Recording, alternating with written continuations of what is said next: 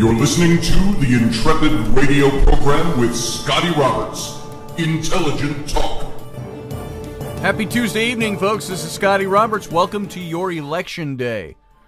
Now, we may not know yet who the President of the United States is going to be on January 20th of 2021, but uh, we'll talk about a few things during the show. I hope you went out and voted today. It's Tuesday, November 3rd, Election Day. And I want to welcome you to my show. This is Scotty Roberts. This is the Intrepid radio program right here on the Odyssey Radio Network. That's ODYSY1.com. For all of those of you who want to come and listen to the audio version of this show, you can also go find all the different outlets where this show airs or where you can find archives. And uh, the other place to find archives and to go watch this show, you can watch this show, not just listen to it come on over to the video simulcast at my YouTube channel. And that's mostly information I'm giving to people who've never been here before. Or if you've been here a million times and just never heard that, come on over to my YouTube channel. That's youtube.com slash Mr. Scotty Roberts. You can see all the archives of this show. As a matter of fact, if I were to go over there right now, and let's see, let's look at uh, all the uh, different shows we have up. I can tell you exactly how many we've got up. And that is, if you uh, go to youtube.com slash Mr. Scotty Roberts and you click on the uh, Intrepid radio program, we have 322 videos, episodes, all uploaded to this channel. And so uh, uh, you're you're going to be able to come on over and spend your time here. Uh, look up all the past shows we've done. See the kind of topics. All you have to do is scroll through if you've never been here before and see the kind of topics we talk about. I tend to not like to spend a lot of time on politics, as you all know, but I do from time to time. It's rare. Now and then we get into it. I know there's a lot of people who follow me on social media, a lot of my friends, they all think all I talk about is politics. No, I talk about politics when they're pertinent to talk about. I also talk about history. I talk about archaeology. I talk about mm, paranormal things, metaphysical things, spiritual things, religious things. And all of this stuff is a big stew for me. That's the stew of life. All the different ingredients that go into it. And politics is just one of them. Uh, I try not to spend a lot of time on it, but I will house it more in current events than I do this is a political topic now. As for right now, current events and politics, it's election day. Now, I've pre recorded this show, so I'm not doing live commentary on the elections. Usually between 9 and 10 or 10 and 11 p.m. on election night, you kind of know who's going to win. I have no idea at the point of uh, recording the show earlier in the day what the results are going to be. I do know uh, that uh, already in was it uh, Dixville Notch or something like that, all five people voted for Biden, but like across the river, uh, all seven people voted for Trump uh, in the other little towns. So who knows how things are going to turn out? Now, that was early this morning. So it'll be an interesting election. Uh, something that did come across my bow when I drove my kids to uh, school this morning. Every morning we put on uh, one of the uh, the powerhouse, you know, fifty thousand watt stations uh, that uh, they don't play a lot of music. They do a lot of fun and frivolous talk in the morning. And they had some guy call in that was a business owner, and he was talking about you know, he has the power to let people stay at work tomorrow or to let them stay home a day after the election. And he said the reason he's pondering this and he's in some quandary over it is because some of the people are Biden supporters, other people are Trump supporters. And he said there's been a lot of political infighting in so much as he allows to go on during during work hours. He even said, you know, he'll have some employees uh, leave him a message or call him on the phone or go into his office and say, you got to stop so and so from wearing their uh, pro this candidate t shirts or hats or face masks or whatever. And he said, so he's had to deal with that for months. And he says he's so glad it's coming to an end. But now he's got all his people pushing him to say they should be given the day off tomorrow to either lick their wounds or celebrate the results of this election. And uh, some of them are young people, might I say. You almost want to say millennials, but I think there's some millennials that are starting to come around.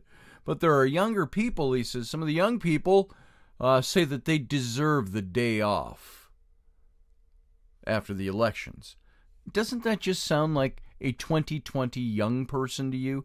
I'm entitled to the day off because of election day. It's like, shut the hell up and get to work. And so, anyway, he was wondering, he's in this quandary. Do I let them stay home the day after the election? Do I let them, do I, do I make them come to work? Do I let those who lost the election stay home? Or what do I do? And so they were asking callers to call in. And I, of course, I'm driving my kids to school. I dropped them off and I called in and I said, I gotta, I gotta call in. You guys know me. So I called in and I said, you know what? I said, we're all Americans. And said, my initial answer is everybody's got to man the hell up or woman the hell up. Put on your big boy pants or your big girl panties and get your butts into work tomorrow. This is the United States of America. And if you don't know by now that you are privileged in the world to have free elections, that you have rights that give you the privilege to have a free election, and you get to go express it, that you don't need a day off to go lick your wounds because your candidate didn't win, no matter who he is. You know, and, and you know, chances are this election we may not know by tomorrow. Um, it could be a landslide, and we're gonna know tonight. We don't know for sure yet. But my advice was, or my my take on it was, get the hell to work. Tell people to grow the hell up and get their butts into work uh, you know what? In America, you have free elections, and that means sometimes you win, sometimes you lose. And losing is part of life. So man up and get the. Oh, I almost said the F word. Get the hell to work and uh, get the job done. And uh, start getting along, start figuring out how to make your life work if your candidate lost. That includes Trump supporters, that includes Biden supporters, and anybody in between. My opinion is right now in an election like this, you vote for a third party. You're voting your conscience. You have the right to do that and you should do it. But you better not complain if the guy you don't want in office doesn't make it, or if the guy you don't want in office makes it. Because love it or not, like it or not, agree with it or not, we're basically a two party system right now. And, uh, well, we should make it a three party system or a four or multiple parties. Well, go ahead, work at it, make it work. But you know what? You got to convince everybody that that third party vote isn't going to be a wasted vote. So that's the that's the uphill challenge you have. So right now you got two parties that are basically vying for the direction, the political direction of this country. And I'm going to tell you something. If you haven't voted yet, it's too late. Unless you're out of the left coast and it's only 7 p.m., you might have an hour left to vote or whatever, whenever the polls close out there. But for the most part, we're all pretty much screwed no matter what side you're on right now, depending on who you voted for, who you don't like, because the voting's over. It's all the counting the votes now. And we'll see what happens. So if you're one of those people who thinks you need to take off work because your candidate lost the election, well, boo oh, let me put out my big crocodile tears for you. You know what? If my candidate loses tonight, I'll be really disappointed. And I'll have a problem with it. But you know what? I'm going to show up at work tomorrow. Well, I work here. But my life goes on. You know, when uh, when Obama won and I wasn't voting for Obama, life went on. We made it. We lived through the next day. So, uh, folks, if you're thinking uh, that direction, if your life is so wrapped up and you got to take time off to get a box of tissues and find your quiet space because your candidate didn't win, uh, maybe you need to just check out of uh, your job altogether. Uh, give them your resignation letter and uh, head out and uh, go find your quiet place and dig in for a week or two. Otherwise, man up, ball up, woman up, vag up, whatever you got to do, and get into the office tomorrow, or the work, or the studio, or the warehouse, or the retail store, wherever you work. Go in, you do your job, life goes on, and you make it work. And if your candidate doesn't win, maybe start tomorrow working to make sure your candidate or somebody in your political philosophy wins next time. There you go. Stop the belly aching. All right. That's all I got to say about politics today. And for me, that's less political talk and more human talk, more current events talk. I look at downtown Minneapolis this morning. And uh, downtown Minneapolis is all boarded up. And somebody said, Oh, I thought they were all boarded up because all the businesses got burned. No, only 140 businesses got burned to the ground by the protesters and the BLM people and all of that a few months ago.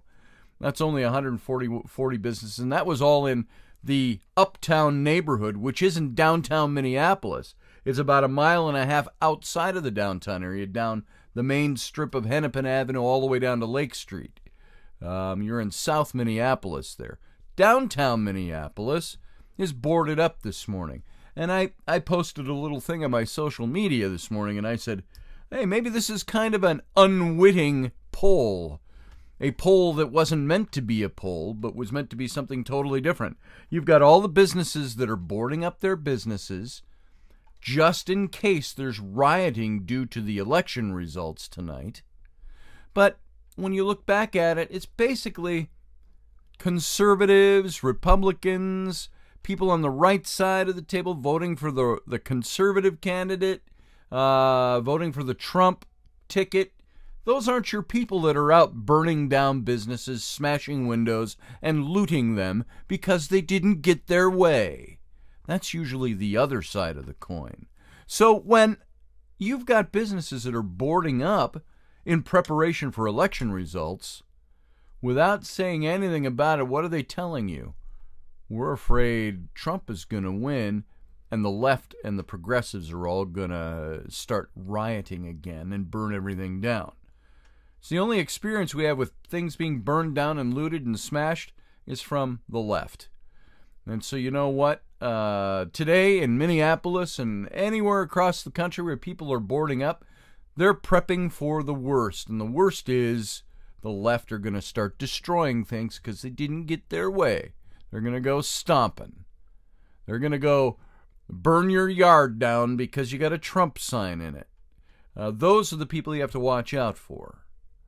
Uh, there's not many people that are going to fear their houses being burned down if Biden wins and they have a Biden sign in their yard because the other side of that coin doesn't usually act that way. Um, so, with all the threats and the things you hear, of civil war and civil unrest and all of that, you know what's going to happen? Yeah, there will be, there could be a revolution. Uh, but you're not going to see a revolution of people burning down people's houses or stealing from their businesses because their candidate didn't, didn't win on the right. You're not going to see that coming from them. So, boarded up buildings in Minneapolis this morning, that's a poll. That's telling me most of the people in Minneapolis think that Donald Trump is going to win tonight. And so, we'll see what happens. Uh, that's my take on that, and we'll leave it right there. All right today we're going to get back into talking about parenting a little bit, but parenting those adult kids. And maybe you don't have adult kids. Maybe you're not even a parent. Well, that's all right. There's a lot of other stuff that mixes into this and uh, uh, um, sets our uh, the tone of the way we live and the way we do things. So uh, fret not. This not the show might not be directly for you, it's not really even directly for me, but it's a show that helps us understand how we parent early on. And you might not be a parent at all. You might not be married. You might not have kids. You might not ever want kids. But uh, a lot of us have little kids. Some of us have adult kids. Some of us are old enough to be have them out of the house and dealt with some of this. Others, we get to look forward to that. And so I want to talk about this. And that's my way of saying it's all pertinent. Listen anyway. Even if you don't have kids or not ever going to have kids, listen to the show. Uh, stay tuned with this show. Keep tuned in. Come on over to the chat room. Add your two cents worth. You know why? Because these are topics of life. This is what life is about. And if you're not dealing with it, maybe your brother or sister is, maybe your cousin is, maybe your friends are, maybe your neighbors are. This is a way to understand life and how life works. And if you don't have kids, you've never been a parent, may not understand what parenting's all about. This lets you know a little bit. You might have a textbook idea or an idea because you've watched people who have kids, uh, but like they say, you don't know unless you were there. Um, you know, I didn't know as much about parenting as I do now. I've got three older ones that are grown up and out of the house, and I got three little ones that are still in grade school. So it's an interesting life. And uh, so let's move on into this. Uh, yesterday, we were talking about when adult children break your heart. It's uh, watching adult kids of ours stumble and fall, and how all parents of adult children know that parenting doesn't stop at that magic age of 18. And we started looking at uh, uh, simple recommendations that can go a long way toward minimizing and preventing all this unnecessary conflict with adult children of ours. The first one we already talked about was how do you know when it's okay to advise your children? Uh, how do you advise them? Why do you advise them? How do you advise them? And your kids require most of all for you to love them for who they are, not to spend your whole time trying to correct them. The second point we already covered yesterday was what if an adult child doesn't seem to be behaving in a mature way? And that can come out in lots of different ways. They're adults they're on their own. They might be in college, they might be out of college. Oh, and by the way, that's another question when you're that we didn't address last night. When your kids go to college, are they paying for their own college? Are you paying for their college? Uh, are they are they uh, do they have scholarships? Do they have financial grant and aids? Do they have loans? I heard one financial guru many years ago. I'm talking almost 30 years ago. Uh, he had a radio show and he always talked like this. And he talked about, "Hey Tiger, uh, how you doing tonight?" And I, could, I don't even remember the guy's name, but somebody asked him about, you know, what do I do with my college fund for my kids? What's the best way to manage it, et cetera, et cetera, et cetera. And he said, well, first, he said, let me say something about about college funds for kids. And he kind of hooked me on this way back. He says, parents shouldn't pay for their college edu- the college education of their kids. Now, if you want to set up a little savings plan and do something with your kid and say, I, am going to deposit so much money so you have a little money to go on when you go, that's fine. Uh, he says, but for the most part, let your kids learn about the responsibility of living adult life by funding their own way through college. He says, your kid that's going to get straight A's or do well in college are more likely to be kids who had to pay for it themselves. And there's a lot of other things to do in life other than go to college. You go look at Mike Rowe Works, which we mentioned yesterday, mikeroweworks.org. And uh, look at Mike Rowe's take on going to trade school, getting your high school diploma and going to trade school. There's a lot of jobs and a lot of people who contribute a lot to society and a lot of people who do very well in life financially because they're in a trade and they make that trade work for them. There's a lot of people in trades that have their own businesses.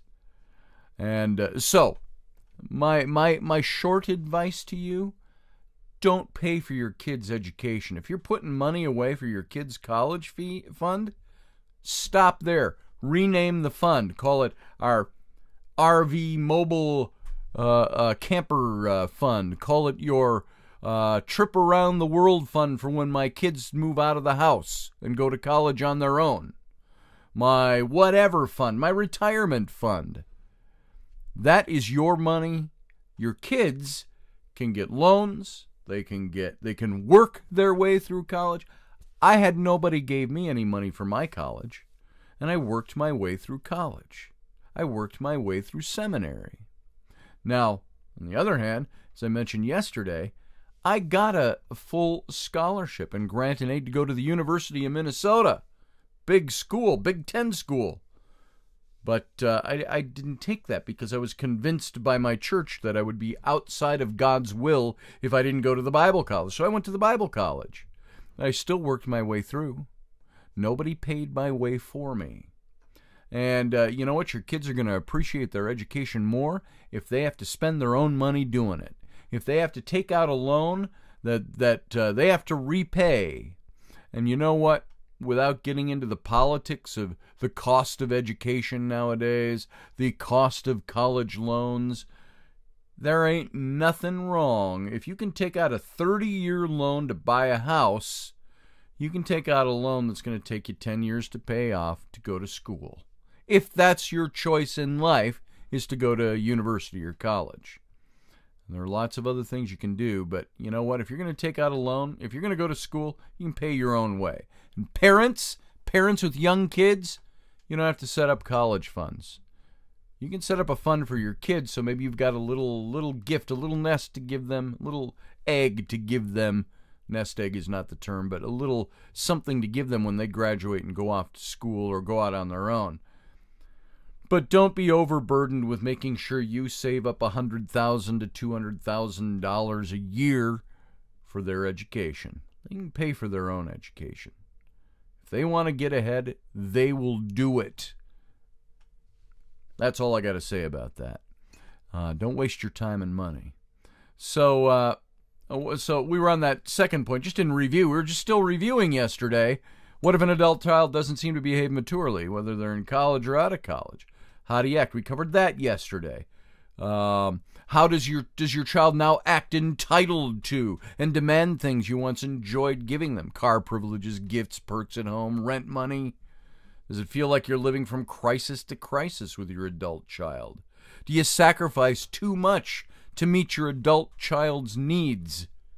Are you afraid of hurting your child? Are you afraid are you feeling burdened, used, resentful, burnt out?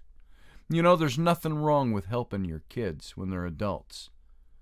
As uh, my father in law, a long time ago, once said to me with my ex wife, they gave us some help on starting a business, and, and he said, Do this for your kids someday. So there you go. You pass it on. Uh, so, seeking professional help and support could help you in this if you've got questions about that, if you're in a quandary about it. The third point we covered last night what if your child, adult child, stops having the same values that you brought them up with?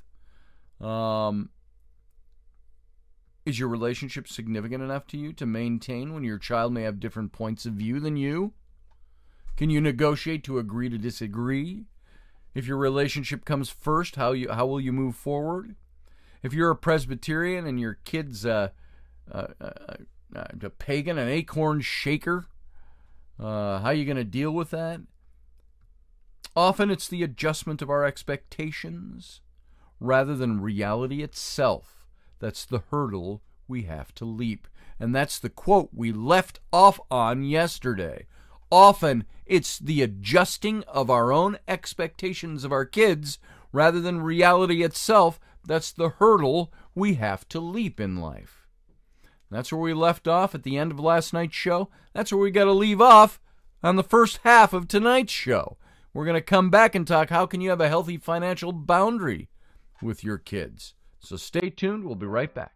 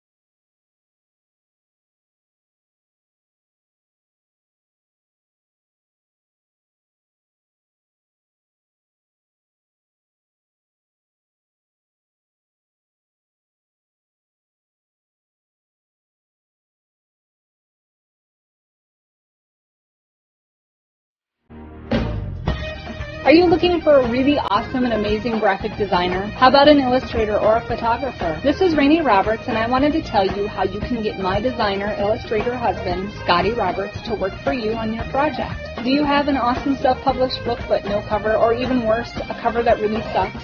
Do you need a kick-ass logo for your company or some f***ing awesome graphic designs for your ads or website? Then get in touch with my husband for the best f***ing awesome kick-ass design and illustration. He knows his stuff and he's been at this for more years than I've been alive. Go to scottalanroberts.com. That's Scott with two T's, A-L-A-N-R-O-B-E-R-T-S dot com to take a look at his online portfolio of work or call 651-468-8115. Now go out and kick some ass with some kick-ass graphic design. Hire my dad so he can take me to Disneyland.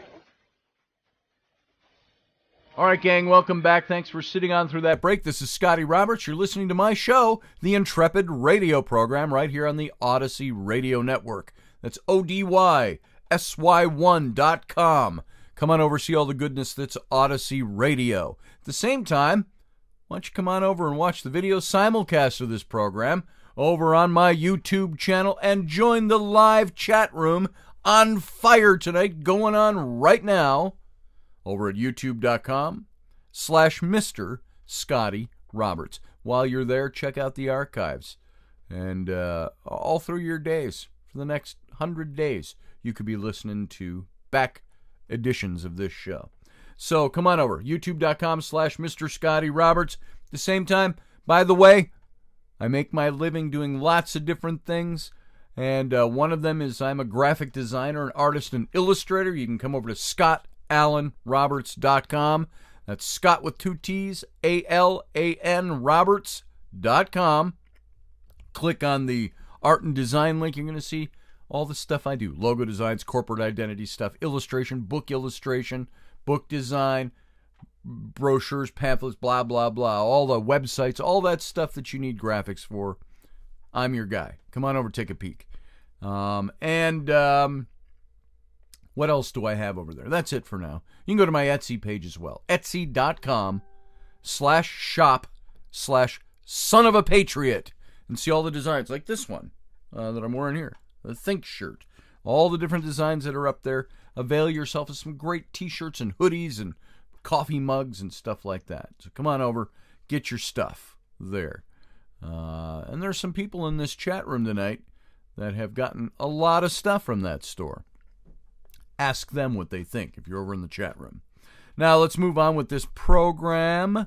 We're talking about adult kids having kids, kids that have grown up with us, our sweet little cute baby kids, our little toddlers, our young grade school kids that turn into angsty, uh, rotten teenagers and then uh, go out on their own and become successful in life. We hope. Uh, what do you do when you have some problems with them? How can you set up boundaries with them? How can you help them and still maintain boundaries? So we want to see them succeed. Now, I'm one of those lucky parents with my da- my twin daughters who were I mentioned yesterday. They're 28. Uh, they started a business almost right out of college. They ended up dropping out of college to make this business work, so they never finished their college degrees, but they're doing fantastic. They're in their ninth year, and uh, they're doing amazingly well. They're they're Mermaid Tail. If you want to go see what they do, go to finfolk.com. F I N F is in Frank. F I N F is in Frank O L K. Finfolk.com or finfolkproductions.com. You can find them on Facebook. You can just go to their website and you see what they do. Um, and uh, they're very successful. They're good at what they do. They've never needed my help. They've just needed my moral support, which was easy to give. And uh, so I was one of those lucky parents. I've got my 19 year old boy who's had some problems and he struggles a little bit, uh, but he's a fantastic young man. And uh, uh, he needs a little moral support every now and then. He's never one time has he asked me for money, and it was like a hundred bucks. Uh, and so, uh, um, and I was happy to help him out. And uh, uh, so, while he's not making the kind of money his sisters make, he's struggling to make his own path. And uh, so that's a good thing. But there are parents that really have to help out their kids, and financial issues can arise. Now, do you have kids that have needed your financial help? Uh, they can arise when a parent's perceived by the child as being unfair. That can cause financial problems when they're be perceived as being unfair, inequitable in what money they distribute or help or give to one child and not the other. And issues can arise if one child, adult child, is always asking for money and being given it, whereas the other adult children who work hard never ask and never get given any money. And so remember, there are usually no secrets amongst siblings. Your kids are always going to find out what's going on with each other, and then issues might arise. So, if an adult child, if they're percep- if, if they perceive favoritism is occurring, uh, then it becomes a different problem, not just finances. And it might hurt their relationships and their relationship with you. But there's a difference, however, in an adult child who's experiencing significant financial difficulty, but is doing everything in their power to get out of the situation and try to help themselves. Obviously, the loving thing to do if you're in a position to do so would be to help them out. And if your adult child is struggling because they're waiting for the perfect job or they lack the motivation to help themselves, then experiencing the, the discomfort that lack of money brings, along with eating canned soup on crackers, noodles, or bread and nothing else week after week, may provide the incentive needed for them to get themselves together and off their butts. And if you leap immediately with freshly cooked food and money for meals and paying other bills, and they're never going to have an opportunity to learn. That doesn't mean you don't help them out. Hey, you're struggling. Hey, uh, here's some food. Hey, a bunch of bag of groceries. Uh, now, that's not going to last you long. You know, you need some help. Get moving. So, not being able to go out socializing with peers or not being able to participate in other holidays as they can't pay their way are all life consequences from choosing not to look for work any work at all that are going to help them pay their way. So if you honestly feel that your child is about to make a financial decision they can ill afford, then a gentle reminder that if it doesn't work out, you might not be in any position to bail them out. And that might be all it needs to help them make the right decision.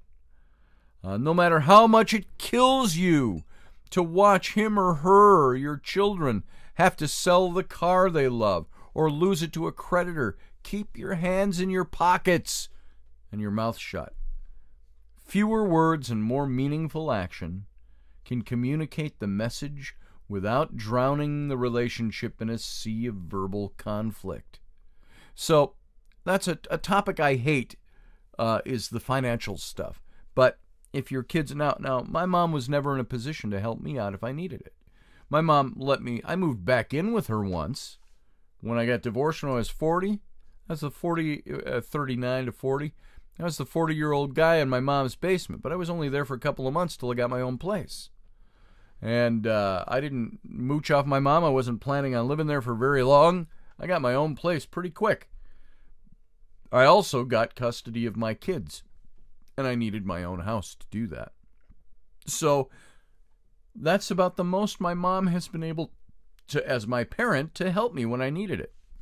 And uh, not that she didn't want to, so I just did. I knew she uh, she was fine. She was living okay. She was doing okay, but uh, I would have put a strain on her if she was going to financially help me out. I, she couldn't do that, and I knew that as a responsible adult.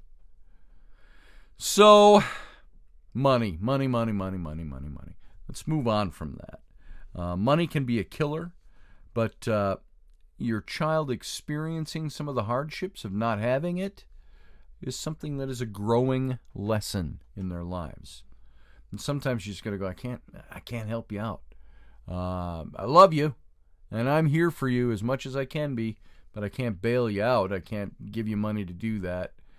Um, I mean, I can maybe slip you a couple bucks here and there, but not much I can do. And maybe, and even if you have it, that might be the wise path to take. Uh, unless they're really hurt and they're really down, then maybe there's some time where you can step in and you can do something to help. Hey, let me help you out. So God knows Uh, I've been bailed out by parents and grandparents before uh, over, hey, uh, our car broke down. We need to get a new car.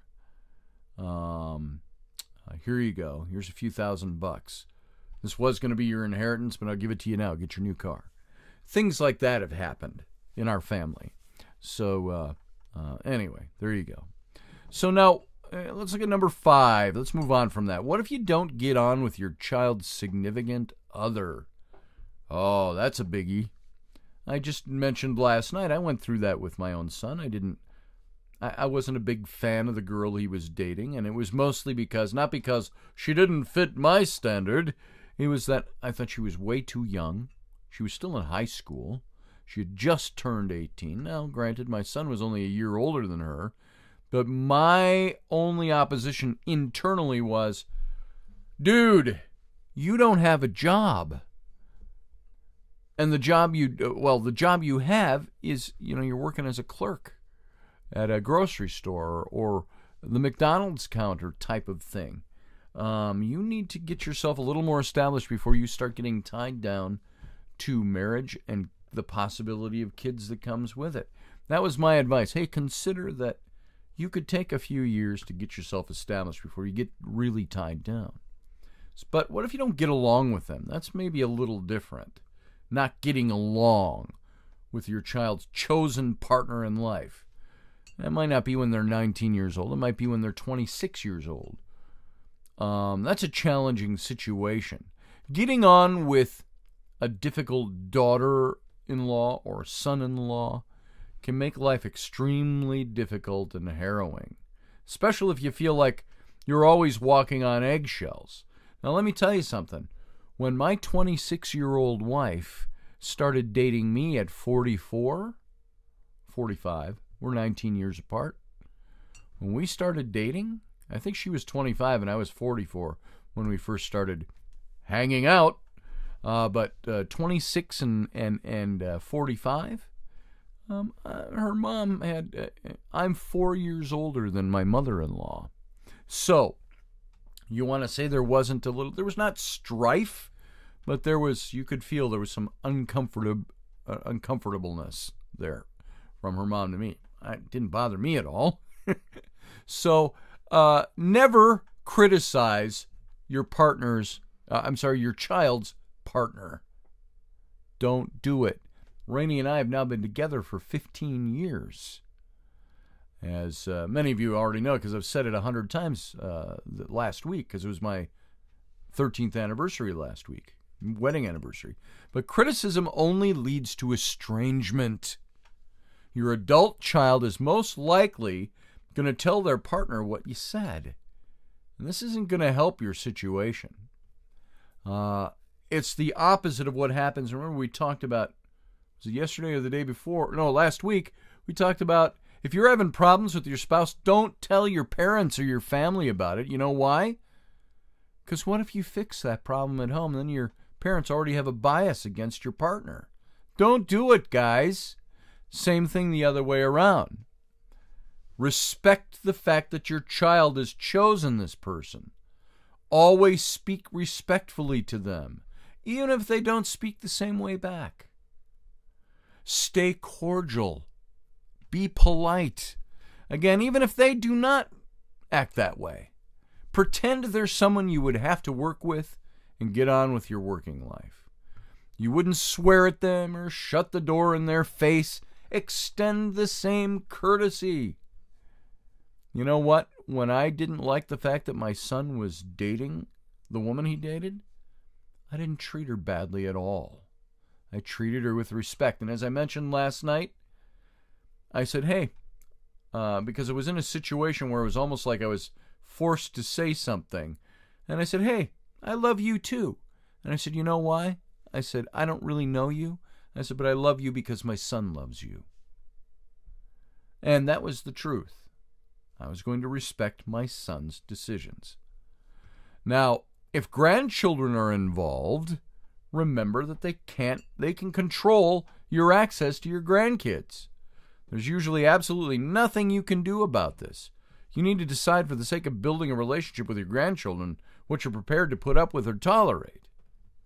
Um, I think uh, uh, uh, deep in uh, some in-laws' minds are the fact that, or if there's any reason my child dies or my child has a divorce and loses custody of their kids, that uh, I may not have every access to see my grandkids anymore. You have to think about those things. So there's some diplomacy that's needed. Accept the reality of this situation that your kid is in. And that uh, this person is the in law that you have, not the one you may wish to you had. They are who they are, and you need to be able to work with this person. If at all possible, never try and put a wedge between your adult child and their partner. Oh my God, you're going to lose that one. Don't work at putting a wedge in.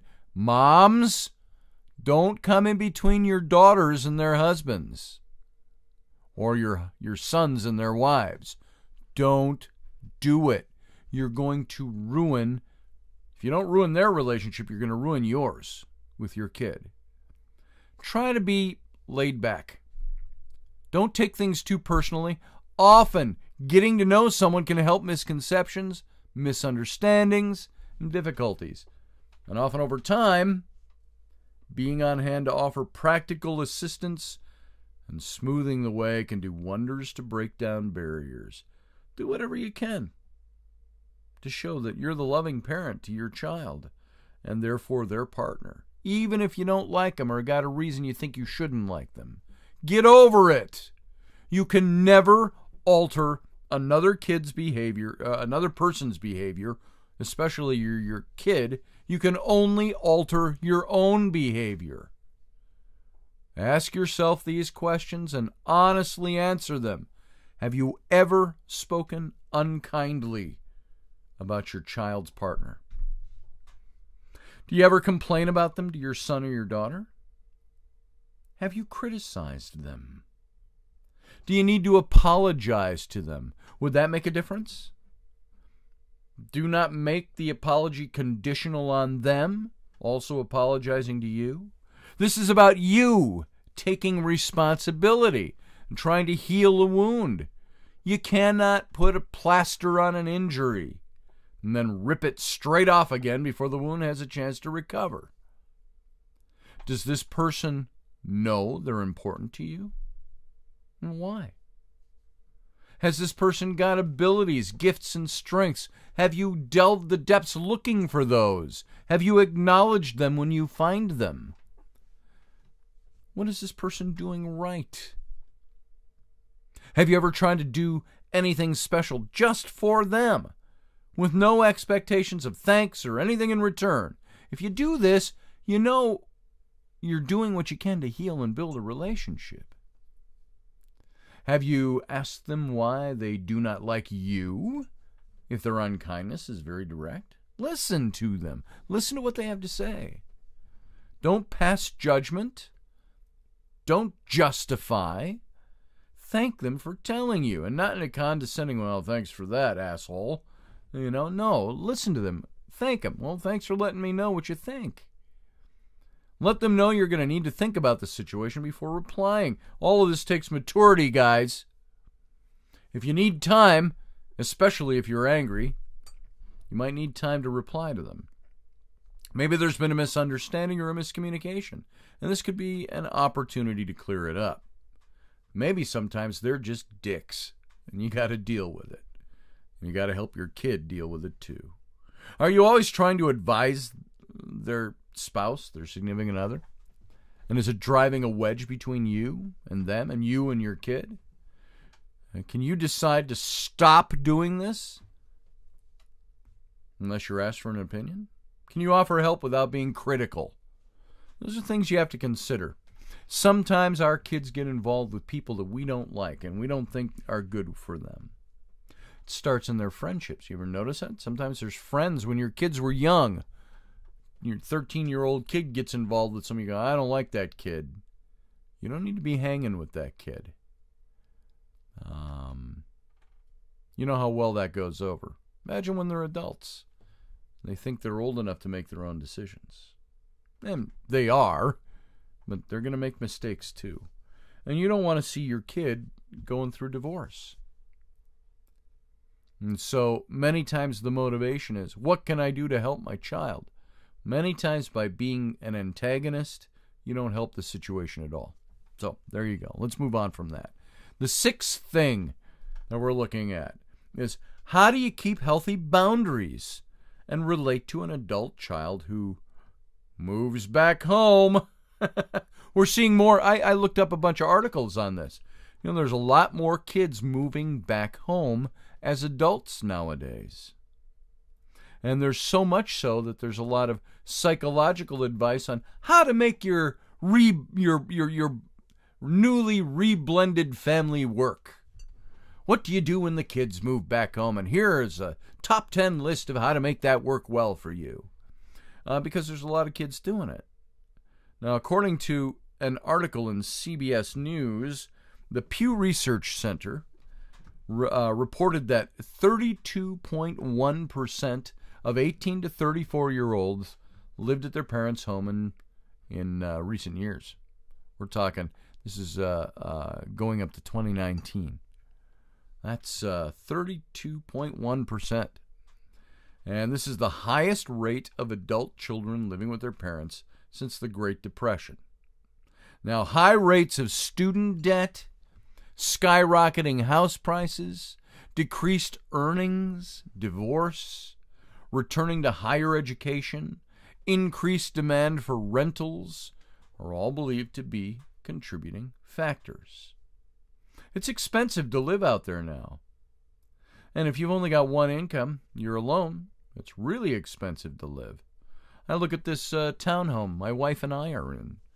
Now, we had a little place that we lost three years ago.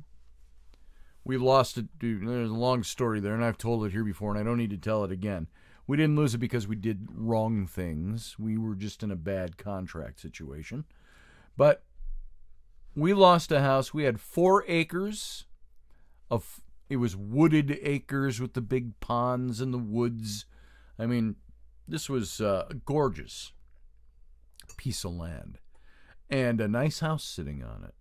We lost that house, but what we were paying for that house is about $100 a month less than we pay to rent a house that's only about two thirds the size of that one with a, a, a big yard, but you know, basically your your one sixteenth of an acre plot of land.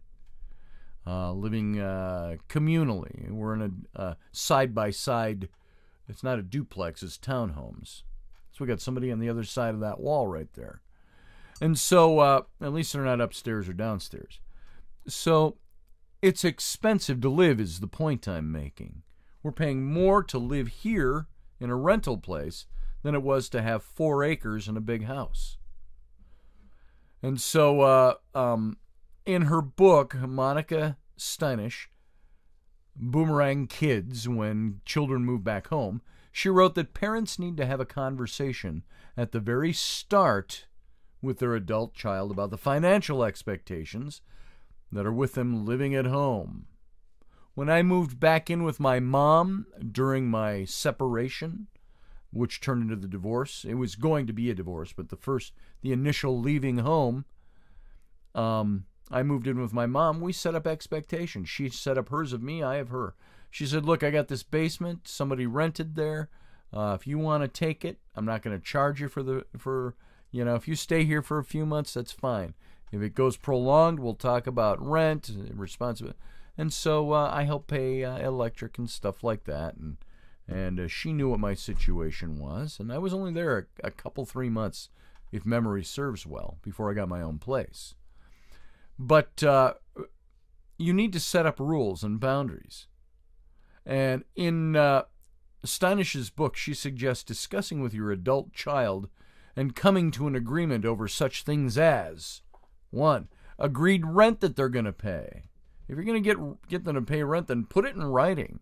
If the rent is raised over some time, starting low as they get back on their feet, then in, include this in the agreement. No misunderstandings, even with your kids.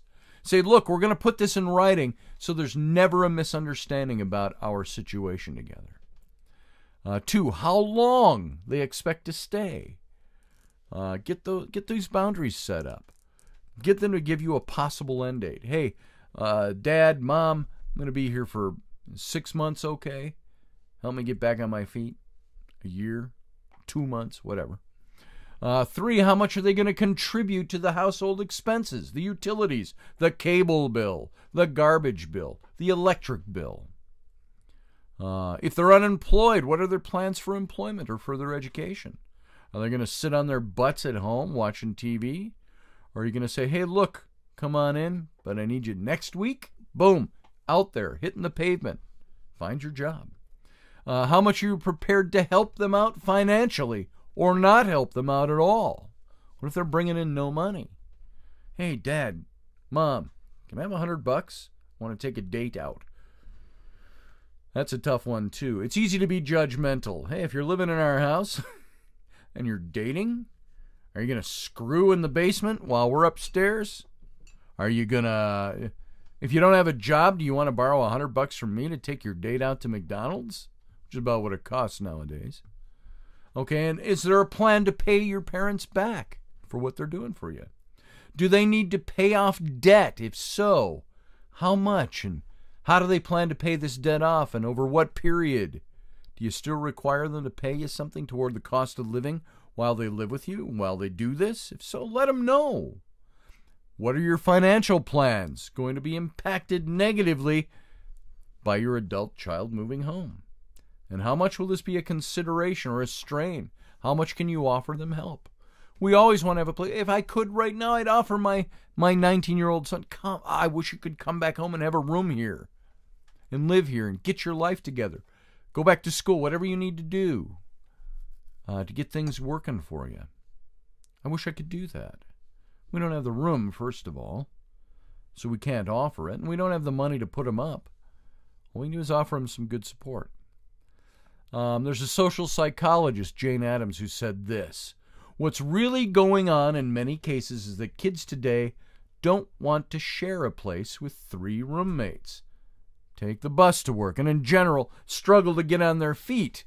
Kids often don't realize that their parents may have worked hard for 25 years to achieve the now freer lifestyle that they have without kids. You start out poor, that's the lesson. Now, it's like, again, saving for your kid to go to college, let your kid do it.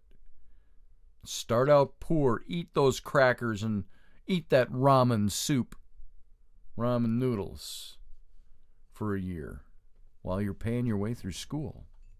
Some parents take the money off their adult children and put it in a savings account to give back to their adult children once they leave.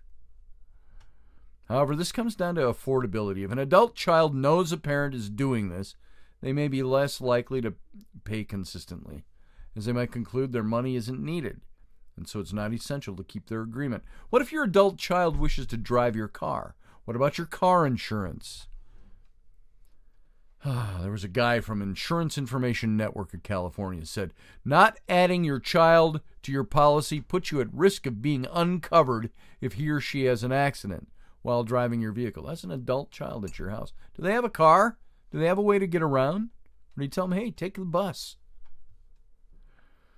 So, uh, you know what? Uh, um, I had a car. I didn't use my mom's car when I lived with her for a few months. Um, it was ridiculous. I had to have a car of my own. So, all these things are what go on. Our children can have their tantrums without triggering us. The more we hone this ability to meet life in a neutral state without attributing goodness or badness to what we're encountering, but simply accepting it as isness, the less our need to interrupt or interpret every dynamic as if it were about us. Uh, our kids can have their tantrums without triggering us. We can correct their behavior without dumping on them from our own residual resentment, guilt, fear, or distrust. So, in summary, the best advice for parents of children is not to advise unless you're asked, or if you feel your adult child might be in actual physical danger, you didn't speak up. So, there's a lot to this. There's a lot more to this, but I'm going to leave it off at that. And uh, remember, uh, what the Persian prophet and poet said. This is Khalil Gibran. He said, Your children are not your children. They are the sons and daughters of life's longing for itself. They come through you, but not from you. And though they are with you, yet they belong not to you. You may give them your love, but not your thoughts, for they have their own thoughts. You may house their bodies, but not their souls. For their souls dwell in the house of tomorrow, which you cannot visit, not even in your dreams. You may strive to be like them, but seek not to make them like you. For life goes not backward, nor tarries with yesterday. You are the bows from which your children as living arrows are sent forth. The archer seeks the mark upon the path of the infinite, and he bends with he bends you with his might, that his arrows may go swift and far. Let your bending in the archer's hand be for gladness. For even as he loves the arrow that flies, so he loves also the bow that is stable. Folks, have a good night. We'll see you back here tomorrow night.